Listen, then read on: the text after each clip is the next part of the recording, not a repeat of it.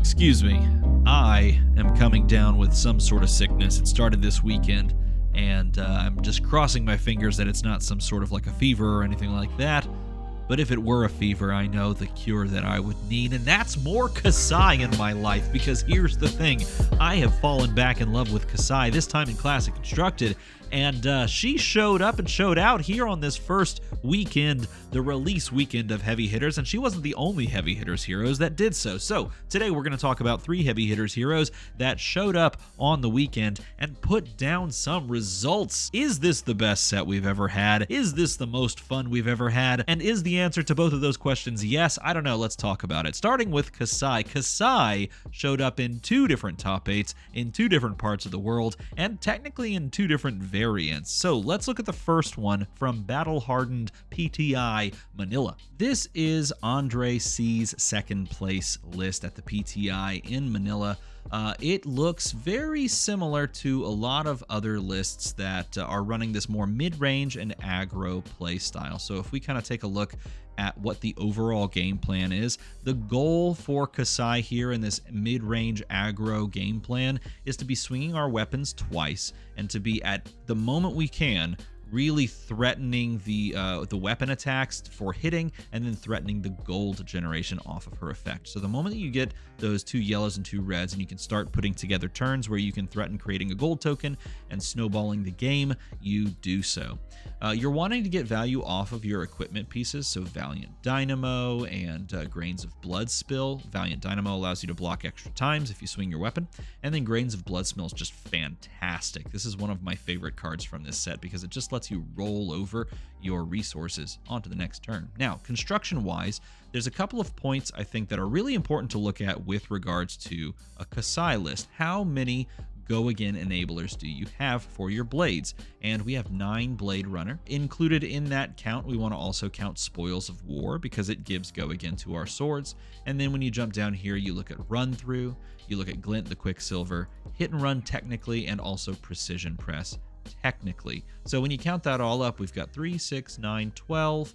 Uh, 15 plus 9 is 24. 24 ways to give our swords go again, and that feels pretty solid, pretty good. Now, the other thing I look for are uh, either whether or not you're leaning into the copper generation so that you can play a card like Blood on Her Hands, which, spoiler alert, was my spoiler card from the Everfest set. Oh, Oh, throwback right there.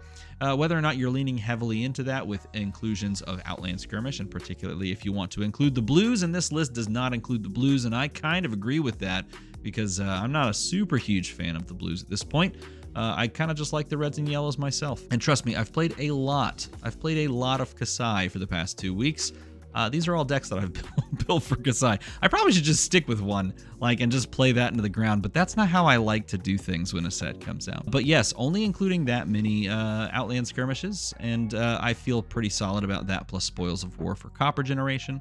And the other thing I look at, uh, besides like some cheeky Nourishing Emptinesses and some Fates and some Sinks, are the attack reaction inclusions. Three Blade Flurry, check. Three in the swing, check. Some number of Ironsong Response, and then uh, the, the card that I've really come on to pretty heavily is Stroke of Foresight. In place of this, I had Cut the Deck because it lets you cycle your arsenal, but Stroke of Foresight starting to uh, show up and show out just because Reprise does the same thing, and it can be any card. And then the other point of contention right now is whether or not you're playing three cash-ins or no cash-ins or two cash-ins or however many cash-ins you're playing, and then how many number of raised in army as well. And if I had to guess, I'm going to probably guess that this is a sideboard card in this matchup, or uh, sorry, in most uh, matchups, whether or not you bring it in. And uh, other sideboard cards uh, probably include commanding performance, how many of these fates and sinks you want to bring in, so on and so forth. But this is a more aggressive leaning, slightly aggressive leaning list uh, for Kassai, and it took Andre all the way to second place uh, in the old battle hardened PTI there, and congratulations to him. But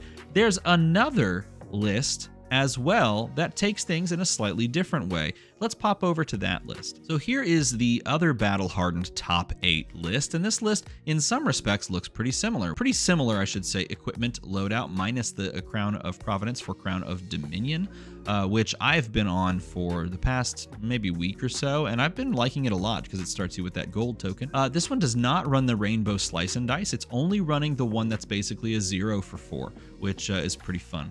It does include one of my favorite cards in this uh, entire hero pool, which is Take It on the Chin to create an agility token. Absolutely love that card. think that card's incredible. And this one definitely playing a little bit more defensively. It has more blues. It has 18 blues, far less yellows, so we're not activating the um, hero power of Kassai as much with this many, or I should say this few yellows.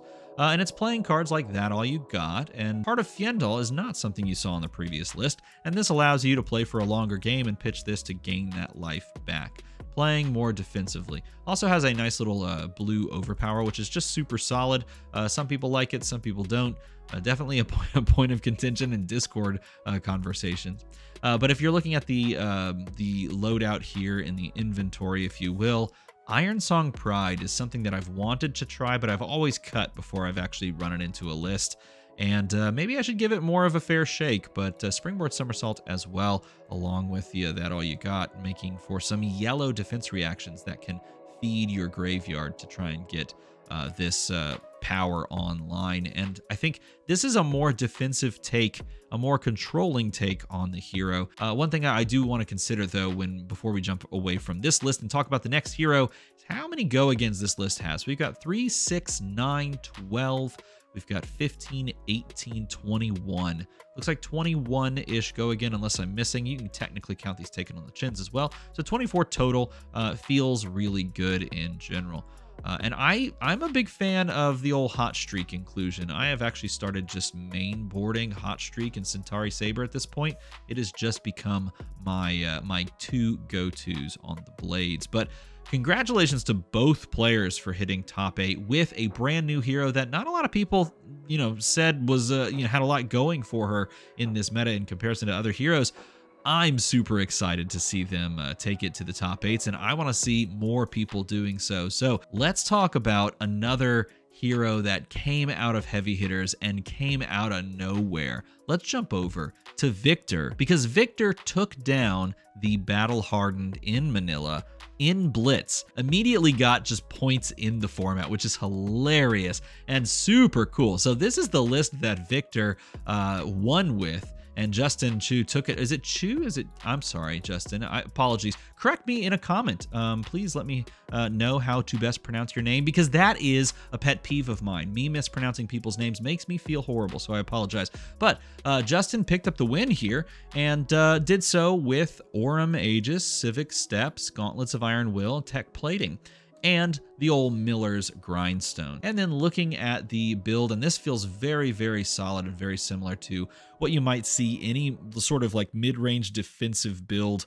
of a Guardian could be playing. We've got solid like versions of uh, four cost attacks. We've got choke slams, debilitates, uh, all at four cost. We have a disable at five cost, and then we kind of ramp up from there. But the main like swinging points being four cost attacks are very indicative of us leaning into the tech plating into a blue playing choke slam for very efficient lines of play that basically just put your opponent on a clock and make them have to make hard decisions. And we can play defensively off of cards like Test of Strength, which with our hero ability just pop absolutely off because when this defends, you clash, and if you win the clash, you create a gold token. And in doing so, you draw a card replacing the test of strength with with a, another card. So you've basically blocked for four and replaced that card with most likely a three block in your hand. That is an incredibly powerful effect. And once you've done this cycle enough of efficient blocking and playing out some like very persistent damage, you can start playing things like Golden Sun or Macho Grande with Dominate or a big rouse into another attack turn these are the power plays that Victor has available to him. Uh, and then rounding out the list, I would imagine these red unmovables are in the arsenal, or sorry, not arsenal. well, they might be in the arsenal. Uh, but these red unmovables are in the uh, inventory, if you will, because it's a 42 card deck. And in doing so, you drop your numbers counts to uh, 16 and 22 respectively. That feels pretty good. And uh, just expertly piloted, I would imagine, uh, to the top. I didn't get to watch much of the uh, Battle Hardened, but I'm going to plan on uh, going back this week and watching it. But congratulations, Justin, for putting Victor on the map in his first weekend being here in the game. Heavy hitters releasing and Victor saying, "Yeah, let's win this. Uh, let's win this entire tournament." That's pretty cool. And that's not the only hero that won an entire tournament on release weekend because Yuki Lee Bender took down the battle hardened uh, in Hartford on none other than Kayo. And this is Yuki's list. She piloted this list to the top. And uh, if you've messed around at all with uh, Kayo, there's going to be a lot of very similar and kind of like good feeling things to this list. I think your biggest kind of slam dunk windmill slam cards in this hero are Bare Fangs, are Swing Big, are Wild Ride, and in particular, I'm a big fan now of Pack Hunt, just like in Rhinar and days of old, and uh, Savage Feast. Savage Feast became very good uh, when we started having the ability to generate multiple action points. And now that we can easily create action points off of Agile wind-up discards, uh, yeah, Savage Feast is in for the long haul because that card is quite good. But the cool thing about this list in particular is that we've cut some of the, um, you know, like I, guess more aggressive inclusions of like yellow versions of Bare Fangs, yellow versions of Wild Ride, and even um, what's the uh, what's the card I'm blanking on? Pulping. We've cut like big, ver- like large rainbow versions of pulping. Like you can see the reds are down here in the uh, sideboard, but overall we have this core that is good at blocking and good at doing what it does, and that's playing like Blood Rush Bellows, powerful discard turns off of the uh, Kayo effect, giving you might tokens and playing just above rate attacks. It gives you this core package you can always lean back on, and then you go through and splash in the attacks or the uh, you know effects that you want to uh, kind of use to build out the rest of your deck into particular matchups. So Assault and Battery creates you agility tokens. Cast Bones is one of those power plays that can just throw down and give you six uh, mites and one agility token. Clash of Agility into like warriors or ninjas is like a shoe in win. Like literally, this card is just a defend, gain an agility token. And Kayo is so much better with agility tokens. It's not even funny. I'm a huge fan of Runner Runner, and I loved seeing this included in the deck as well because this is actually in my version of Kayo. Uh, I think it's a, a, just a fantastic card for creating an agility token and sending uh, just the, the turn into overdrive one turn after another and Send Packing. I'm honestly surprised to see this uh, in a in the sideboard instead of in the main board. Uh, but it's a it's a really solid card and, and almost, in my opinion, a super like windmill slam auto include. Just being super good into basically the field that wants to arsenal. Like if your opponent doesn't ever plan on arsenaling, then it's just a three for six, which is a below rate. So perhaps that's why it's in the old arsenal. But this is such a cool list, and uh, I love this maybe on the uh, on the Skullcrack. I think this is actually a card. First of all, I did include in my list. Second of all, I think that it's going to make it into more lists because it allows you the extra point of resource, the extra energy that you can tuck in a claw in between two like big attacks. After you do the discard and uh, draw or the draw and discard effect off of any of these things like Wild Ride or Bare Fangs with an agility. Uh, you have one extra resource, maybe um, based on ratios. You can tuck in a Mandible Claw if you just end up lucking out into Skullcrack. So that's something I would see moving into the uh, deck list. But congratulations to Yuki for taking Kayo to the top of the event and getting Kayo his first living legend points on like day two of the set being released. How crazy is it that we've had multiple sets in the past, and yet this set has just come in and just slammed down multiple heroes in the uh, in the playable, not super broken, but definitely very good tier to be able to take in a new meta and just come out of nowhere with it. I think it's so cool. This has me so excited to play more heavy hitters, and I may be sniffly and may be a little feverish. So tell me in a comment below if I'm just way off base. And if you enjoy these recap type videos where we break down deck lists, make the number go slightly higher. Ah, heck, I did this entire recording without updating that number. Fixed it. We did it. So if you want that number to go slightly higher, um, it would be really exciting. When we hit 18,000 subscribers, we're to have a fun giveaway stream where we open up old packs of Flesh and Blood. As always, everybody, thanks for watching. Boop.